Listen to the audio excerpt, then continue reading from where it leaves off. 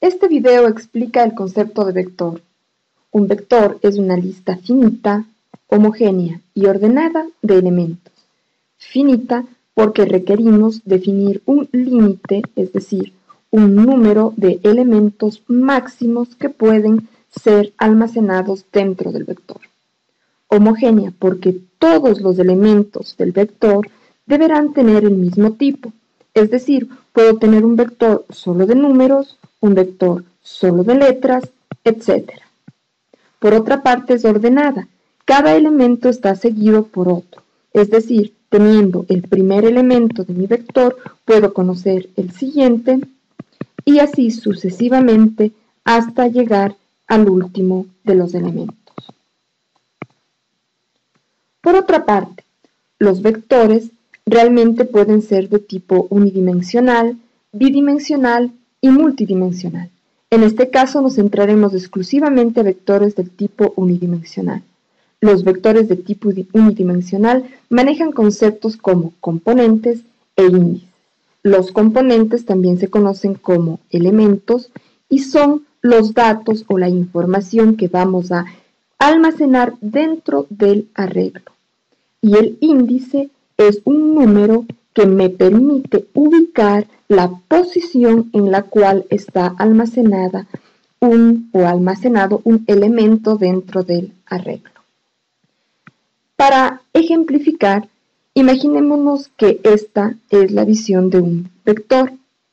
A los vectores, como ustedes ven, se los considera como espacios, ¿no es cierto?, como un conjunto de espacios en donde yo podré almacenar posteriormente información. Al vector hay que nombrarlo. Por ejemplo, podría decir que este vector se llama A. El vector A tiene una longitud, un tamaño, que viene dado por el número de espacios que tengo para almacenar información.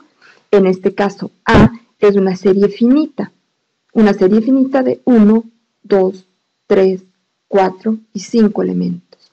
La longitud de A es 5. Por otro lado, A podría almacenar en cada uno de estos espacios información. Decido que A va a ser un vector de tipo numérico, es decir, que los elementos que almacenen cada posición podrán ser exclusivamente números. Podría almacenar el 3, el 8, el 1, el 2 y el 5. Para poder acceder a esta información requiero usar los índices. El vector A tiene índices 0, 1, 2, 3 y 4. Estos números, los índices, marcan la posición. Si queremos, este espacio de aquí es la posición 0. El espacio de acá es la posición 2. Algunos lenguajes de programación inician los índices en 0, pero hay otros que lo hacen desde 1. Si tengo A sub 2 a qué es igual. ¿Qué quiere decir esta expresión?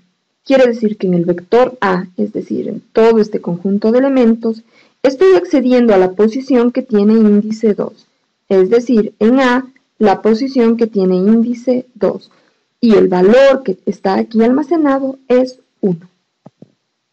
De esta manera podríamos llegar a hacer operaciones. Podríamos decir, por ejemplo, A sub 0 más A sub 4.